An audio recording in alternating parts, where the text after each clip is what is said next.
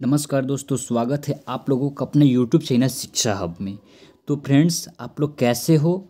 मुझे उम्मीद है कि आप लोग बहुत ही अच्छे होंगे और मुझे ये भी उम्मीद है कि आप लोग परेशान भी होंगे, लेकिन आपको परेशान नहीं रहना है। और इस परेशानी को दूर करने के लिए ही मैं इस वीडियो को लेकर आया हूँ और इसमें हम सारे बातें को डिस्कस करेंगे और जितने बच्चों ने मेरे पास कमेंट्स किया था, यहाँ पे देख लीजिए थोड़ा सा बातें करने से पहले सारे स्टूडेंट का कमेंट्स लेकर आया हूँ और आपकी जो भी डाउट्स है, जो भी परेशानी है, इस वीडियो के माध्यम से पूरा सॉल्व हो जाने वाला है। आप लोग यहाँ थैम्बल में देखे होंगे साफ़ साफ़ लिखा है कि C H S admission E lottery या merit based twenty twenty two यानी कि हम नहीं लिख सकते हैं C H S entrance exams twenty twenty two जो होने वाला है वहीं लिखती हैं, ठीक है? उसके बाद आया बातें कि जो मैं बातें बताऊँगा, वह सत्य बताऊँगा, ठीक है? सच बताऊँगा, ठीक है? स्टूडेंट के प्रश्नों का जवाब, सच में आज आपके जो भी डाउट्स हैं जो भी प्रश्न हैं, आपके जो मन में चल रहे हैं, उस सारे प्रश्नों का जवाब इस वीडियो के माध्यम से आपको देने वाला हूँ। देखिए, यहाँ पे भी लिखा है कि बच्चे परेशान हैं।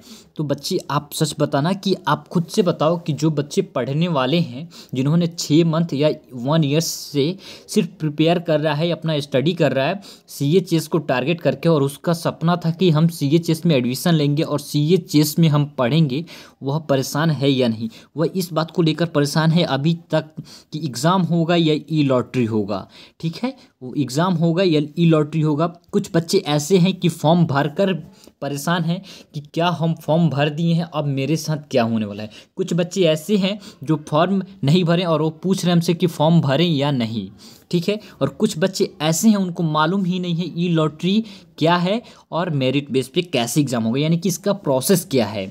और जो बच्चे हैं और उनका ये भी प्रश्न है कि क्या अभी तक तो कुछ अपडेट आया या नहीं? क्योंकि बच्चे हर तरह के न्यूज़ चैनल्स को देख रहे हैं और अलग अलग आर्टिकल्स को भी पढ़ रहे हैं और बच्चे साइड पे भी जाकर इनके देख रहे हैं। इसीलिए उनको परेशानी हो रही है कि उनको मालूम ही नहीं चल रहा है कि क्या कोई न्यू अपडेट आया या नहीं, कोई जेनविन अपडेट आया या नहीं, क्या ऑथेंटिक यानी कि सही अपडेट है या क्या गलत है। बच्चे नहीं जान पा रहे हैं। इस सारे बातें को मैं आपको बताऊँगा। अगर कुछ बातें बच जा रही है तो आप उस बात को कमेंट बॉक्स में लिख सकते हैं।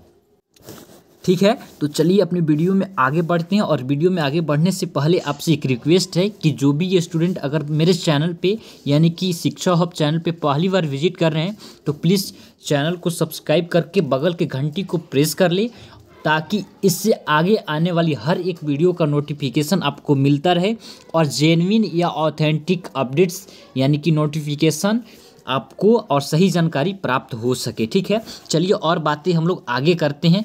तो देखिए, पहले मैं बातें बता दूँ कि आपका एग्ज़ाम्स होंगे या ई लॉटरी उसके बाद हम बच्चे की कमेंट्स का देखेंगे कि बच्चे का कमेंट्स क्या है, उस सारे बातें को, ठीक है? तो चलिए हम पहले एक बात और कि आप लोग अंत तक देखिए वीडियो को, तभी आप कुछ समझ सकते हैं, नहीं तो कुछ नहीं समझ पाएँगे, ठीक है?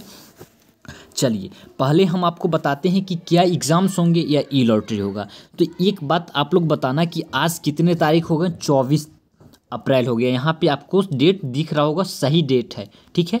चौबीस अप्रैल हो गया और हमारा फॉर्म जो फिल करने का, यानी कि भरने का लास्ट डेट है, वह कब है? तीस अप्रैल है। क्या?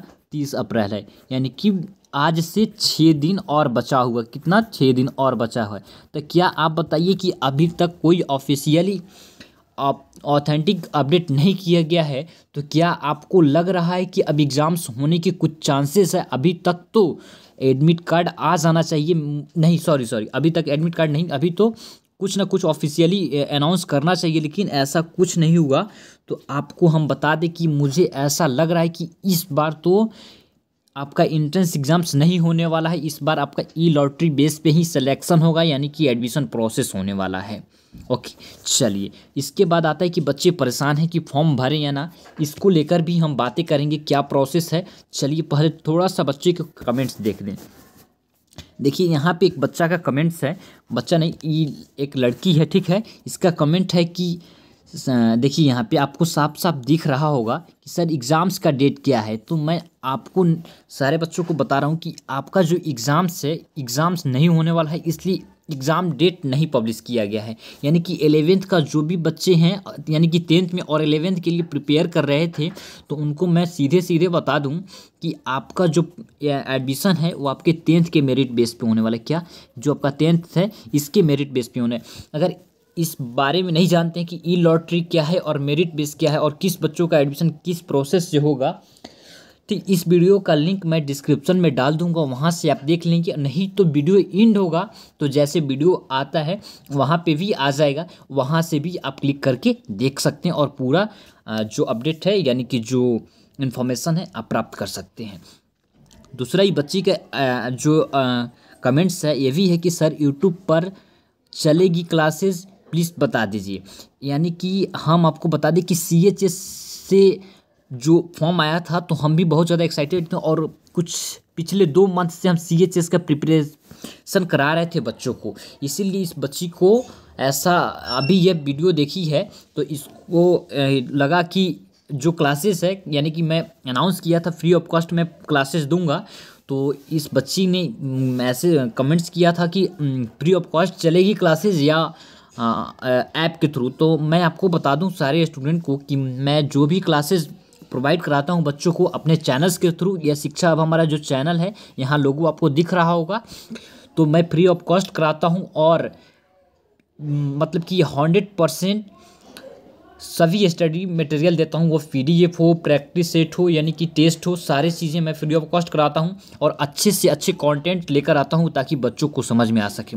इसीलिए मैं एक बार और आपसे बोल दूँ कि अगर आप मेरे चैनल को अभी तक सब्सक्राइब नहीं किए हैं तो प्लीज़ कर लीजिए, आपके लिए बहुत ही ज़्यादा अच्छा होगा।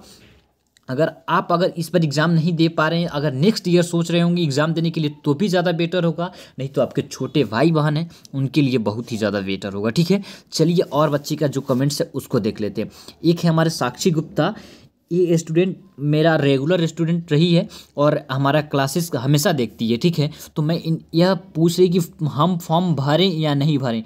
तो बच्चे, मैं आपको बता दूँ कि आप सोचो आप सोचो, मैं एक बातें बता दूँ, देख लो। यहाँ आप खुद खुद डिसीज़न लेना, साक्षी गुप्ता और जो भी स्टूडेंट अभी इस वीडियो को देख रहे हैं, सारे बच्चे। मैं आपको बता दूँ कि आप खुद डिसीज़न लेना। यहाँ आपका मान लो कि मैं सौ परसेंट, ठीक है? सौ परसेंट जो आपकी जो सीटें हैं, मान लेता हूँ सौ सौ परसेंट, आप समझ रहे होंगे ना कितने? जितना भी सीटें हों हम सौ परसेंट मानते हैं। सौ परसेंट को हम दो भाग में कैटेगराइज करते हैं तो यहाँ फिफ्टी परसेंट, यानी कि पचास परसेंट, यहाँ पचास परसेंट। ठीक है? अब हम इसको कैटेगराइज क्यों किया? ठीक है? जो ज़रा ध्यान से देखिएगा। ये जो पचास परसेंट है ना, ये आपका जो पचास परसेंट है, इस पचास परसेंट सीट को आपको रिज़र्व करके रखा गया है किन के लिए? तो जो बी एच यू की या सी एच एस की एम्प्लॉयमेंट है, यानी कि वहाँ के जो कर्मचारी हैं तो वहाँ के जो कर्मचारी हैं, उनके बच्चे हैं जो इस पचास परसेंट सीट में पढ़ेंगे। यानी कि इसमें कोई अलग जो बच्चे हैं, आप लोग नहीं जा सकते हो। जैसे कि ये साक्षी गुप्ता हो या मेहक यादव या या नेहा पाल, ये बच्चे अगर नहीं हैं बी एच यू के एम्प्लॉयमेंट यानी कि वहाँ के प्रशासन, यानी कि वहाँ के प्रशासन या वहाँ के अधिकारी या वहाँ के कर्मचारी के बी एच यू का या सी एच एस के तो आप इस सीट में छेड़छाड़ नहीं कर सकते, इसमें आपका स्थान नहीं है। रही बातें यहाँ पचास परसेंट की, ठीक है? चलिए, आइए यहाँ पचास परसेंट की बातें को हम देखते हैं। यहाँ पचास परसेंट तो इसमें भी पचास परसेंट आपको मालूम होना चाहिए कि कुछ ऐसे लोग हैं, यानी कि थोड़ा सा यानी कि लंगड़ा हो गया या और भी सारे जिनको आरक्षण दिया गया है, इसमें से उनके लिए भी रिज़र्व रखा गया है। तो अब जो सीटें इसमें से बची यानी कि जो सीटें इसमें से बचेगी और आप अगर अभी फॉर्म भरते हो, यानी कि E lottery and merit base पे जो सिलेक्शन होने वाला है और आपका जो भाग्य अच्छा रहेगा, नसीब अच्छा रहेगा तो आपका सिलेक्शन होगा। नहीं तो आपका क्वालिटी का यहाँ पे कोई वैल्यू नहीं है, आपके शिक्षा का यहाँ कोई वैल्यू नहीं है, यहाँ, ठीक है? अभी तक। तो अगर आप नहीं देखे हैं कि एस में जो ई लॉटरी प्रोसेस है या मेरिट बेस्ड प्रोसेस है, उसको कैसे यूटिलाइज किया जाएगा, कैसे आपका सिलेक्शन होगा, इस पर भी मैं वीडियो बना चुका हूँ। आप जाकर देख सकते हैं वीडियो थोड़ी सी लंबी होगी, लेकिन पूरा क्लियर करके जाऊँगा डाउट को, ठीक है? चलिए, आप समझ पा रहे होंगे कि क्या बच्चे आपको फॉर्म भरना चाहिए या नहीं। अगर आप चाहते हो कि हम फॉर्म भरें तो फॉर्म भर कर देख लो यार, चार सौ देखो, जिन बच्चे के पास पैसे हैं, उनको ये चार सौ फोर हंड्रेड रुपीज़ आपको कोई वैल्यू नहीं दिखेगा। लेकिन जिनके पास नहीं है, यही चार सौ उनको बहुत ज़्यादा लगेगा और वह नहीं भर पाएँगे। ठीक है? इसीलिए मैं बोल रहा हूँ कि आप अपना देख लो कि आपको फॉर्म भरना है या नहीं भरना है। मे, मेरा जो था, मैं आपका पूरा कॉन्सेप्ट क्लियर कर दिया हूँ और आप खुद डिसीज़न अब लेने के लायक हो चुके हो, क्योंकि आपको पूरा बातें मालूम हो चुका है। ओके? चलिए क्लास इलेवेंथ का एग्ज़ाम होगा या नहीं तो इस बच्ची को मैंने रिप्लाई भी दिया था और मैं अभी भी बता चुका हूँ कि नहीं होगा। ये भी बच्ची यही पूछ रही है नेहापाल की एग्ज़ाम होंगे या नहीं? सारे बच्चे का यही है तो मैं बता दूँ एग्ज़ाम्स नहीं होने वाले हैं। आइए नेक्स्ट बातें करते हैं। मनीष कुमार एक स्टूडेंट है। ये भी बहुत ही अच्छा स्टूडेंट है। इन्होंने हमसे डायरेक्ट ऐसा बोला कि, सर, कैसे भी एग्ज़ाम करवा दीजिए। देखिए इस बच्चा को, ठीक है? कैसे?